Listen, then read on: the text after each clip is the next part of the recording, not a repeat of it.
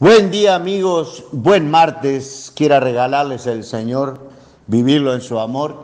Y desde la palabra leeremos junto el libro de los Macabeos, estamos en el capítulo cuarto hermanos, y nos toca leer juntos los versos 28 al 35.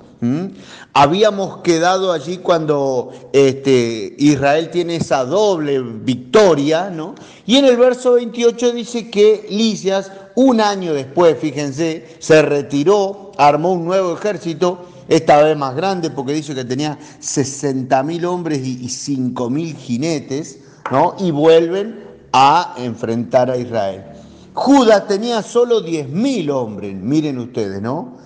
Eh, yo no sé si estos números están eh, inflados, son reales, eh, quizás para marcar la diferencia, pero en definitiva, bueno, eso es lo que tenemos escrito. Y miren, Judas frente a esta situación hace una oración. Ahí en los versos 30 al 33 hace una bellísima oración diciéndole a Dios que bueno, que así como David, que era más chiquito, había vencido al gigante Goliat, qué sé yo, entonces le pide lo mismo, ¿no? Entrega este ejército en manos de tu pueblo Israel. ¿eh? Infúndeles miedo, quiebra la audacia que les da la fuerza, ¿eh? derríbalos con la espada de los que te aman para que canten himnos de alabanza a todos los que conocen tu nombre. ¿sí? Esta es la oración de Judas, una especie de oración mezcla de arenga para, para sus muchachos, ¿no? Pero la realidad es que efectivamente vencen de nuevo. ¿eh?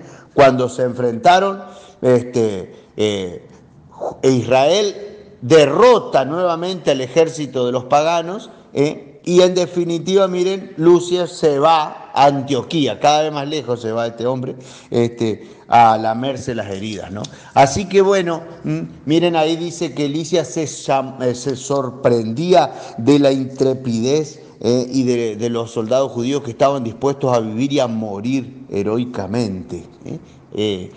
nosotros vamos a vivir este día también con esta actitud no para atacar a nadie, sino para hacer lo que tenemos que hacer con intrepidez, con, coraje, con valentía, con la certeza de que el Señor guía nuestras manos y nuestros pensamientos y desde ahí queremos vivir esta jornada.